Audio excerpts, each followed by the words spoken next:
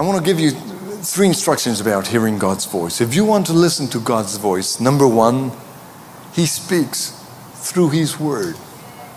There's no shortcuts. A lot of people want God to speak in a, in a, in a meeting, a prophet giving them a specific word. No, no. The first place is His Word. If you're not reading God's Word every day, it's very hard for Him to speak to you. Now, sometimes He speaks in a very clear way. He says yes, or He says no. But other times, He doesn't speak in a very clear way. For example, should I buy this car? Should I go to Argentina? Should I marry this guy? He doesn't speak in a clear way. We wish he would, but he doesn't. But he gives us limits, parameters. And if we live between those limits, we can be sure of being doing God's will.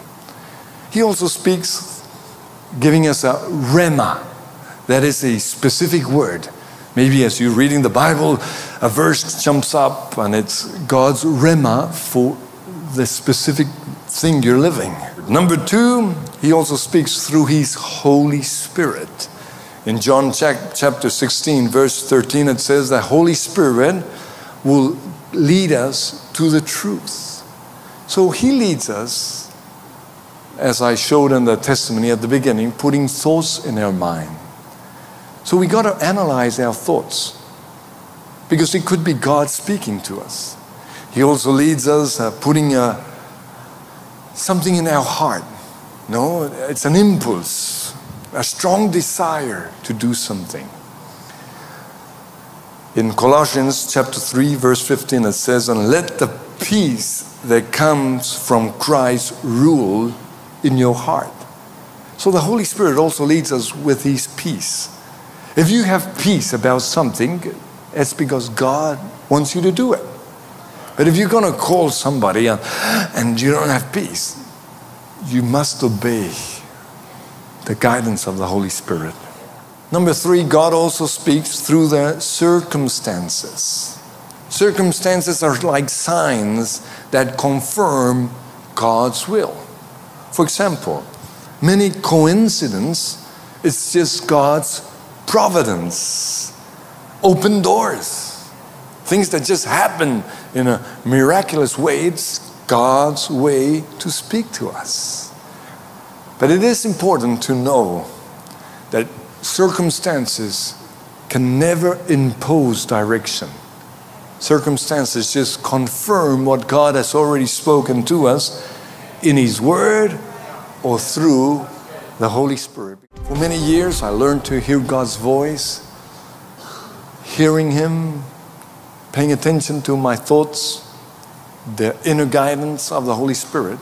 But then there's something that it's what I call knowing His heart or feeling what He feels, loving what He loves, hating what He hates. And that is how to be sensitive to God's heart, how to listen to God's heart. In Psalm chapter 103, verse 7, it says that God revealed his character, his ways, or his heart to Moses, and his deeds or his signs to the people of Israel. So I want to ask you, who are you? Are you like Moses? Are you a person who God is going to reveal his heart, his ways? Or are you just one in the crowd, like all the people of Israel? They just wanted signs. I want to be like Moses. I want to be a man who knows God's heart. We're nothing but clay jars in the hands of a powerful God. We may be knocked down, but not out. He's burning, burning. His power flows and overflows within us. And even though others may try to pressure us, we can't be crushed. We won't be rushed. We're with Him.